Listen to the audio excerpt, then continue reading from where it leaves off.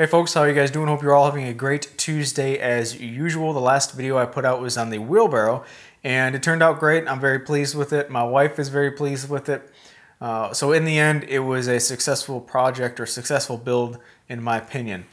But it's always funny how you have your mind set on something uh, or you might be oblivious to something else and then somebody points something out and then once they point it out, that's all you can see.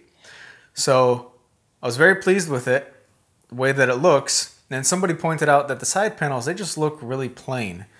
And I was like, really, do they? So I went out and looked at it, and sure enough, they look really plain. Never noticed it as I was making it. Um, so if I had to build it over again, I probably would not have used panels for both sides and then the front. I probably would use two boards and then connect them with a batten to make like a fence almost like a fence side instead of a solid panel.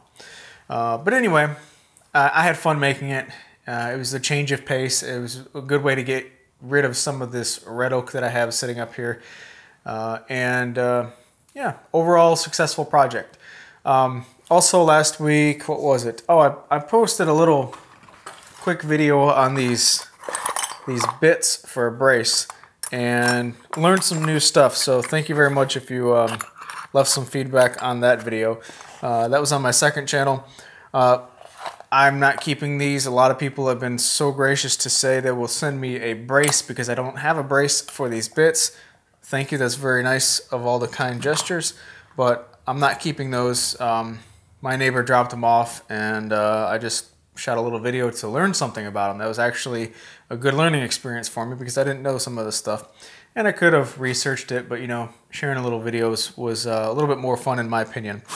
So he's gonna get those back and man, he's got a lot of old tools. So hopefully he continues to bring some over and drop them off and say, uh, say I can play around with them for a little, little bit. So if he does, I'll continue to uh, shoot little videos of those. Uh, also, this week, I'm not exactly sure what my project video will be, if I even have a project video. Uh, I'm trying to get ahead with Christmas stuff. Normally, Christmas is um, wait till the last minute and then try and make something as a gift. So this year, I'm going to try and make a bunch of stuff uh, beforehand and then just be ready. So I've already got eight pens made and I think 22 more pen blanks ready to go.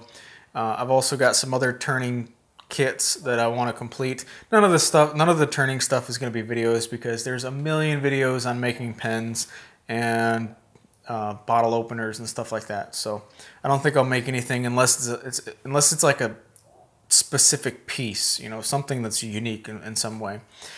And then also, um, I ordered some. Uh, Brusso hinges, some really nice hinges for a couple decorative boxes that I want to make. I don't know if they'll be jewelry boxes or what. I just want to make a couple boxes that are, I don't know, maybe 10, 12 inches by 8 inches, 6 inches tall. Something about that size to give out as gifts this year.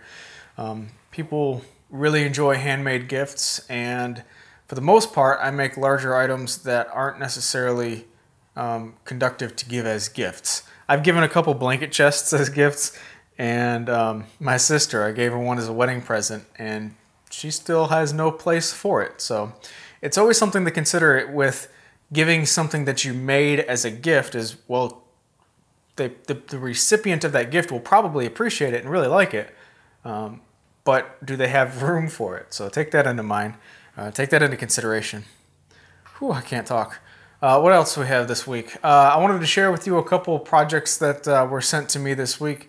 Uh, this is a bunk bed from Anthony Smith uh, using my plans. Turned out really good, and it looks like that he may have also made uh, the dresser that's in the room as well. Looks like they, they, they go together, which is really cool.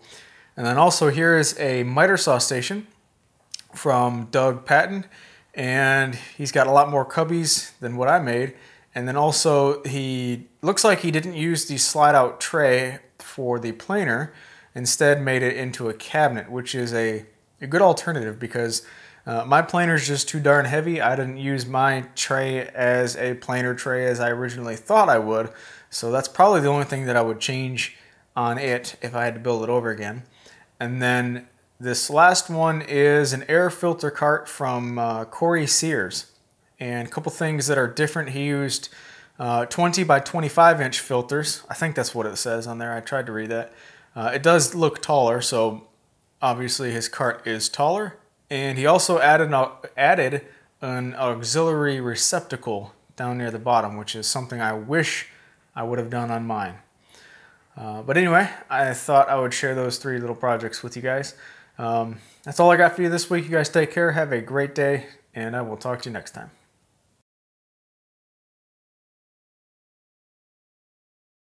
Uh, but anyway, uh, but anyway, uh, but anyway, uh, but anyway.